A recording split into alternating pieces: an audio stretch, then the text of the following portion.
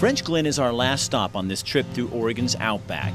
It is remote, but the valley influence is much more apparent here. Something about the Steens Mountains seems to separate the West from Oregon's far east. Everybody sort of walks a balancing act or something, you know, trying to figure out exactly how to get along with everybody. And Longtime ranchers whose families homesteaded here, in the summer here, we're fairly busy. I see over 10,000 people a year in the hotel. And the tourists and newcomers who may define themselves as environmentalists.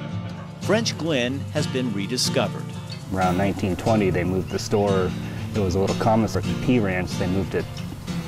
They moved basically the whole town here away from the P Ranch to make a, a headquarters. Frenchglen was first called Some Range. Cattle rancher Pete French and his father in law Hugh Glenn started the town in 1872, these round barns.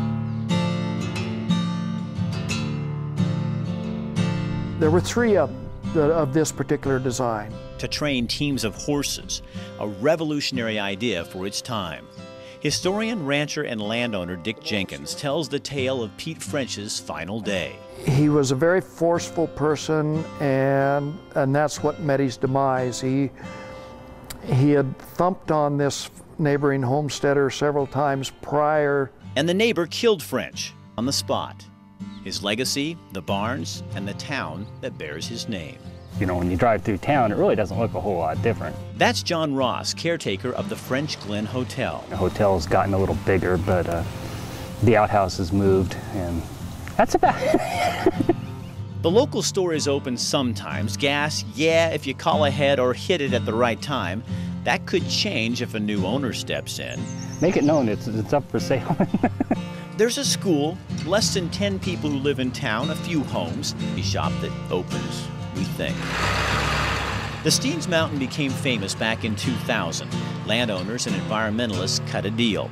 A management act to protect the mountain and allow ranchers to still graze animals here to avoid creating a national monument. They'll fight, but I mean, they do realize that sometimes you have to get together and work on things, and and that's sort of a unique thing that's happened here. Uh, I mean, I'm not going to say that they get along on everything because they don't. Some ranchers now close off their property, property that you spent. Uh, they may not do things, you know, perfect all the time, but they're, you know, they're trying to be as good to the land as possible. Some folks, you know, come from the valley and see something that they don't like, you know, and they're sitting there, well, you can't do them.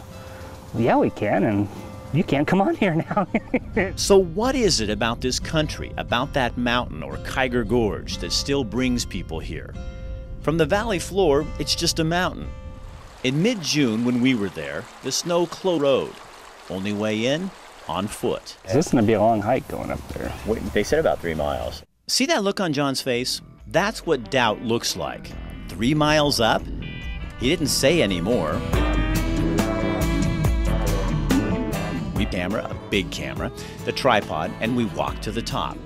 By the way, it wasn't three miles, it was more like four and a half. That's nine miles up and back. So why make the climb? For that picture, what a view. This is what ranchers and environmentalists fight to protect a way of life and a mountain.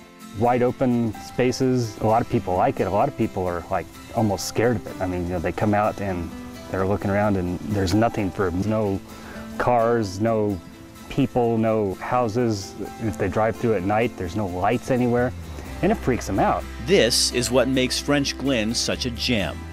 It's the front door to Oregon's outback, unless you live in the outback. In that case, the Steens is your first line of defense.